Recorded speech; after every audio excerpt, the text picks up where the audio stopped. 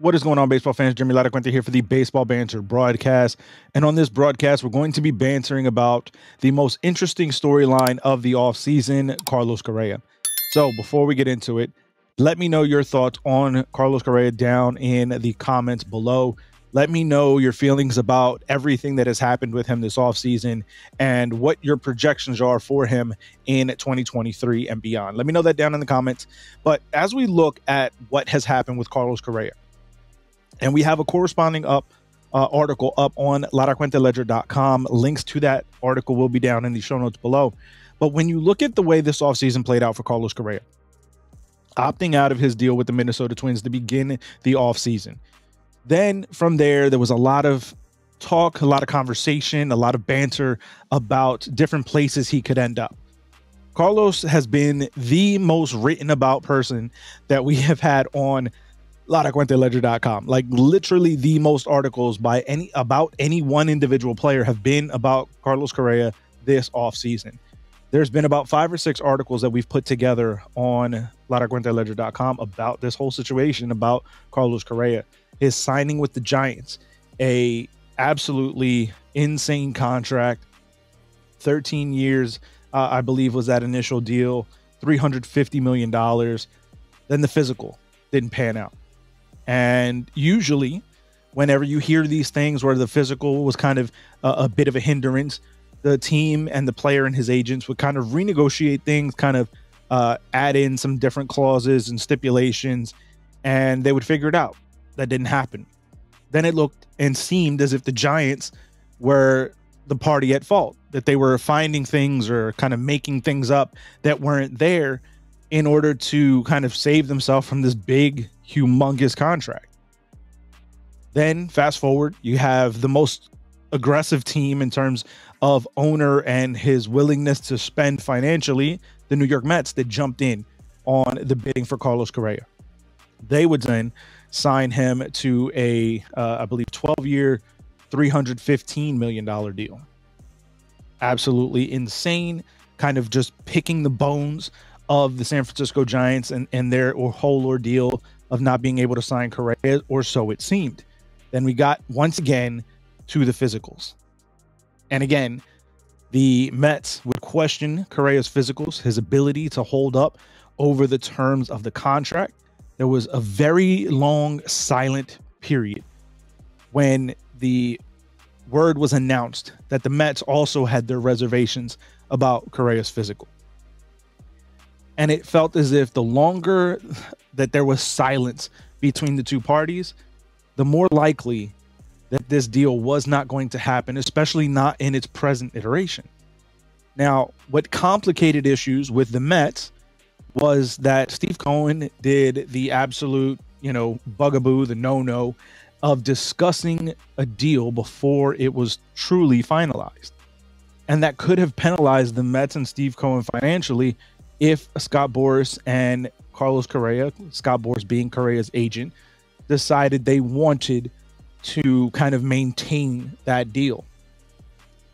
And they likely would have been awarded that if they had gone to an independent arbitrator to deal with kind of the ramifications of that being spoken about publicly. But for both Boras, the Mets, and the you know Correa party, it didn't have to come to that because the Twins would then swoop in and sign him.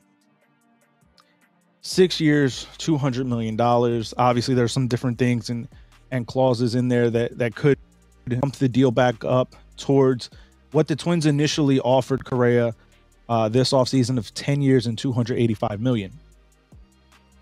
But the simple fact is, is that this has been one of the most intriguing storylines to follow this offseason.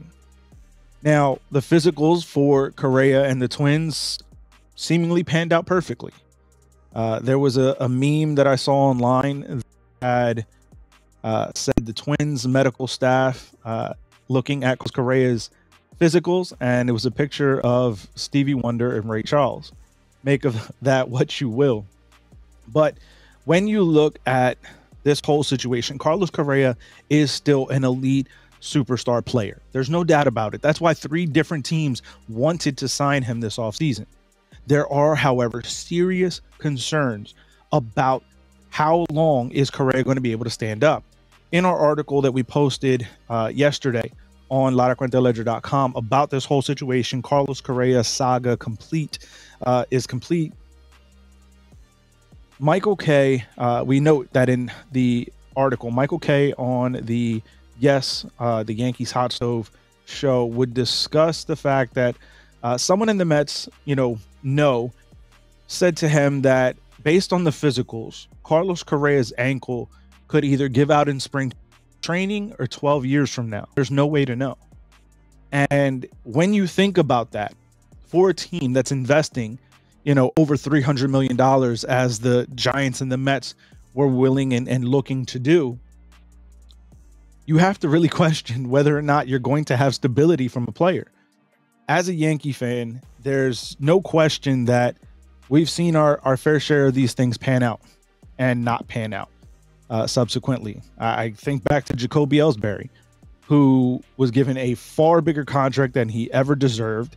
And the simple fact was is that he was always hurt. And throughout the the final years of his Yankee deal, they ended up just paying him to go away because he could upon. And that's the question that you have to ask with Correa. Is this going to be a player that the Minnesota Twins can count on? Is this going to be a player that they're going to be able to to kind of pencil in that production or is it going to be another case of not being able to put your superstar on the field because they're con- Another thing that was stated by Michael Kay on that Yankees hot stove show about this Correa situation was the fact that the next surgery that Carlos Correa has on that right ankle will be the last for his playing career, and it will just be about giving him a normal, everyday life. That is a very scary proposition for a team that is investing hundreds of millions of dollars this is why it is such an interesting turn and, and how things kind of played out for Correa and his, you know, team, his family this off season. But it is a curious thing as to to why the Twins would even continue down that path. Now, yes, less money than the Giants or the Mets offered. But it's still a lot of money. $200 million is no joke. And yes, it is for a lot less years than what both of the other teams were offering. But at the same time, the potential that you could be losing Correa one to two years into this deal is really something that you have to be curious about. And it will be interesting to watch how Correa plays during spring, how he plays during the WBC, as we know, he's playing for Team Puerto Rico. And it's going to be really interesting to me to see kind of how these next couple of seasons play out for Carlos Correa. In a hundred years from now, when anyone looks at Carlos Correa's baseball reference page, it's going to say 2022 Minnesota Twins, 2023 Minnesota Twins, and so on and so forth. But those of us that lived through it know that this was one of the most interesting scenarios that we've ever seen play out during the off season, and it will not be something that we forget about anytime soon. But I want to hear from you guys. Let me know your thoughts down in the comments. As I said, let me know your thoughts on Carlos Correa. Twins fans, let me know how are you feeling about Correa coming back to your team. Uh, I believe this was a player that was needed. I do feel that the Twins are a better team with him on the squad than they would have been without. Uh, they're going to be battling the Guardians and the White Sox for the top of that division in 2023 with or without Correa, but they stand a much better chance, in my opinion, with Correa on the squad. So definitely want to hear from you guys. Let me know, baseball fans, down in the comment section below your thoughts on the whole situation, the whole ordeal, this entire offseason storyline with Carlos Correa. Uh, down in the comments, you can find me over on Twitter at banter underscore baseball. Now, if you've stuck around to this point, I want to bring your attention to something that we're going to be doing. We're going to be running a giveaway here for this thermos here, a baseball banter broadcast thermos. It is available on our merchandise shop, baseballbanterbroadcast.com. Now, we're going to be doing a giveaway once we hit 500 subscribers here on this YouTube channel. Now, the only way that you can win is you have to be a subscriber. Now, the way we're going to be running this, we're going to be doing a uh, kind of a lottery system and gain more entries to be able to win this thermos from the basement broadcast one of three ways. You gain extra entries by following us on our TikTok channel, Baseball Banter Broadcast, our Instagram page, Baseball Banter Broadcast, and our Twitter account, Banter underscore baseball. So if you follow us on all three of those places, as well as being a subscriber here on YouTube, which is the main qualification, then you have four opportunities, four chances in the lottery that we're going to be running to determine the winner of the thermos. So I want to thank you guys. We're going to be doing that giveaway after we hit the 500 subscriber mark. So make sure you tell all of your baseball friends that this is the channel to watch in 2023 and beyond. And make sure you're following us on all of our social media channels to gain extra entries to be able to win the thermos. But I want to thank you guys for tuning in. Keep it locked in all off season long and all season long by hitting the subscribe button and the bell for post notifications each time we start to banter a new broadcast here on the Baseball Banter broadcast.